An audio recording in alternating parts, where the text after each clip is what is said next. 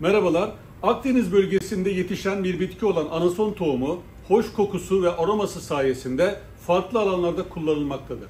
İnsan sağlığı ve metabolizması üzerindeki faydalarından dolayı sıklıkla kullanılan bir bitkidir. Anason tohumunun sindirim sistemi üzerinde önemli etkileri vardır. Gaz, şişkinlik, mide krampları ve hazımsızlık şikayetlerinin giderilmesinde faydalıdır.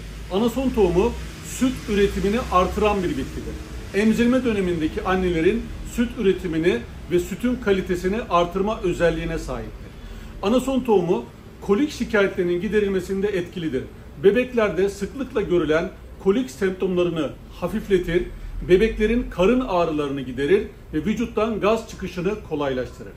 Anason tohumunun uykuya geçmeyi kolaylaştırıcı özelliği vardır. Çünkü sakinleştirici özelliğinden dolayı uyku kalitesini artırır. Yine soğuk algınlığı ve öksürük şikayetlerinin tedavisinde yardımcı ve destekleyici olarak önerilmektedir. Günde iki defa sabah ve akşam yemeklerinden sonra içilmesi uygundur. Bir bardak kaynamış klorsuz su içerisine bir tatlı kaşığı anason tohumu ilave edilir.